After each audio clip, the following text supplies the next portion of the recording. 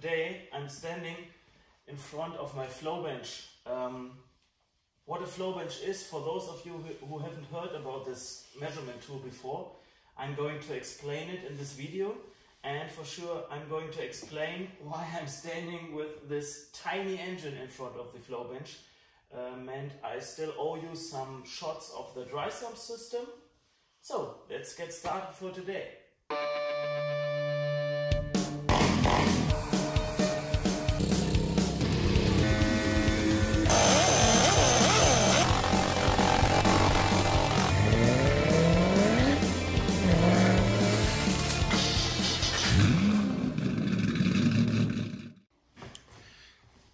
So let's start with the easy part first. Um, I guess most of you saw the first test run I made with this uh, Toyan engine. Uh, this is a 14cc uh, four-stroke, four-cylinder engine. Um, and in my eyes it's a masterpiece. It's so nicely ma made. If you're interested, I made an uh, unboxing and build video and um, I showed it running already. So, but what I noticed um, when I first started it, um, that it has two connections to, the, to the crankcase, um, like a crankcase ventilation. So this is this one and this on the bottom. And even though I only ran it for a couple of minutes, um, it threw out a lot of oil. So there was a, few, a lot of oil underneath the engine. And what I don't know is, um, or what I don't want is that the engine is going to mess up um, every place I'm going to drive the car later. So I had the idea to, to build some kind of dry sump system, which means there will be this uh, reservoir, um, there will be an electric pump, an Arduino Nano microprocessor, which is going to control everything. This is just um, a relay switch. And my plan is uh, to attach much more um, connections to the to the to the oil pan. So there will be multiple places where where the oil uh, will be uh, sucked out from the from the pump and it will be directed into this um, yeah separation tank and breather. So hopefully there will uh, will no be um, such a mess as in the in the first test and this one will be blocked so occasionally I can just um, take the oil out and um, it will be a clean, clean thing.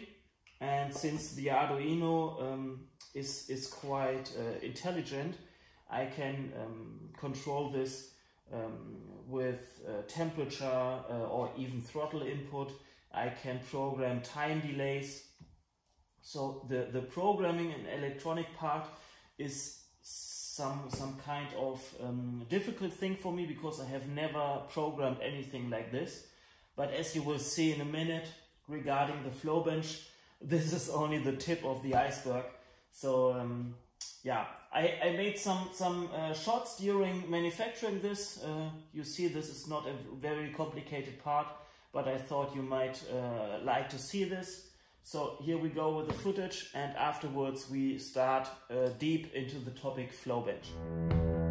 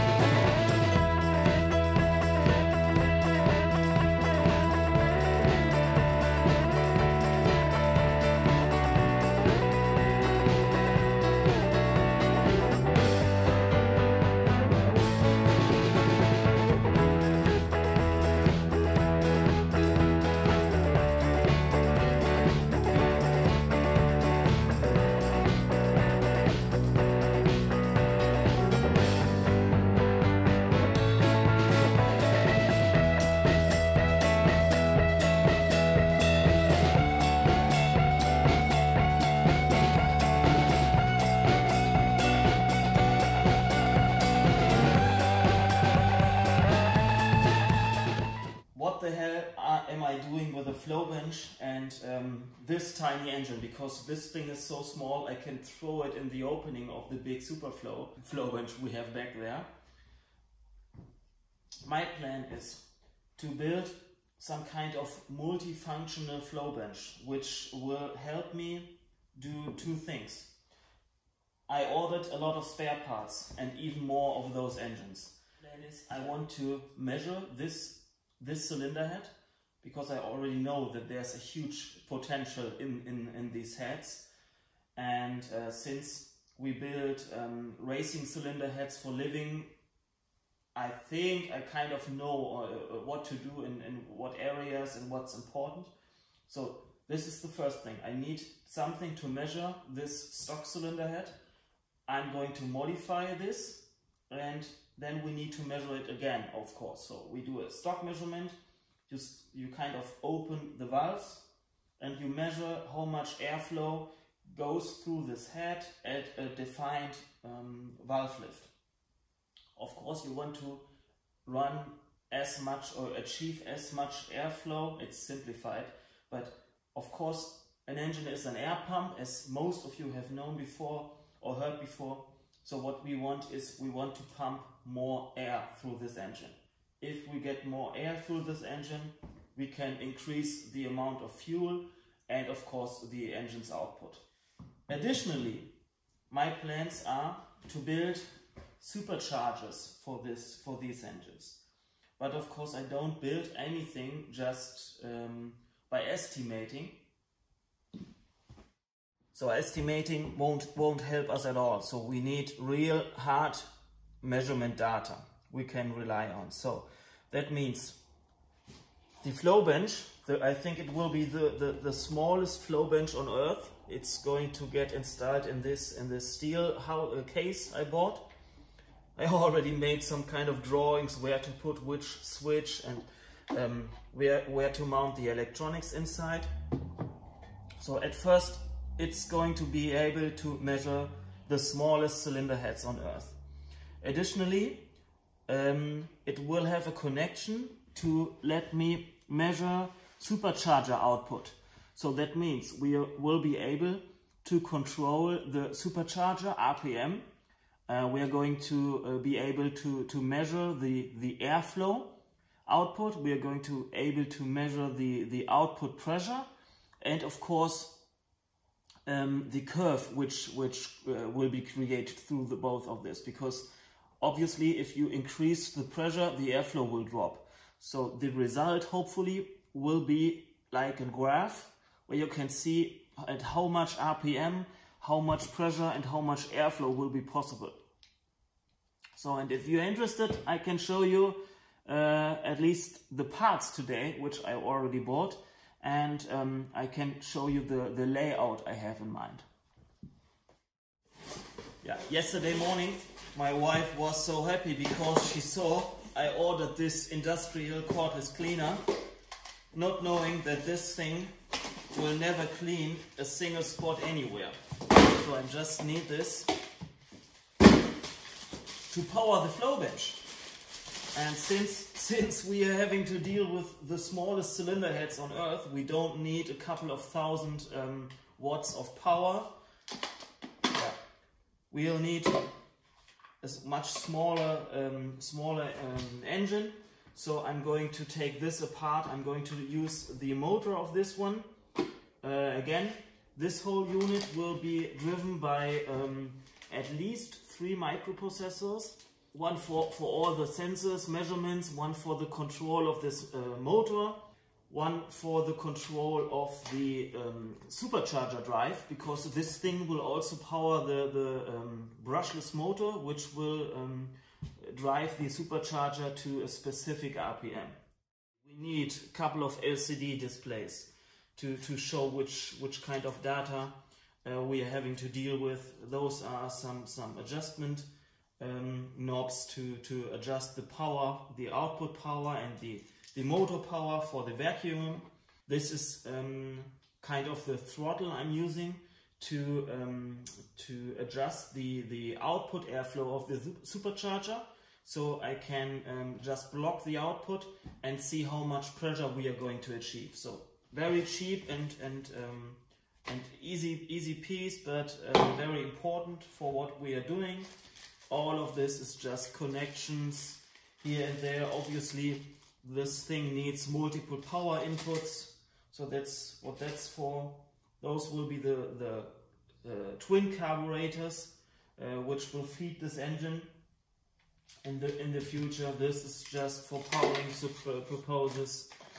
There will be an, a pressure sensor, uh, these two plexiglass tubing for measuring the, the um, differential pressure. But once we get there and build this, this is going to get an aluminum plate in the back. But when, when we get there, I will uh, get to this in more detail. So this is the plan. As you see, there are kind of hundreds of parts. Let me know in the comments if this is in, uh, of any interest for you. Um, if you ask me, this is uh, this is a kind of interesting journey um, because I think no one has ever done this before. Uh, maybe no one is as stupid to do this kind of unnecessary, expensive, useless, whatever stuff. By the way, this is the magic part. Um, this is the airflow sensor, kind of expensive for such a small part and kind of um, difficult to, to run.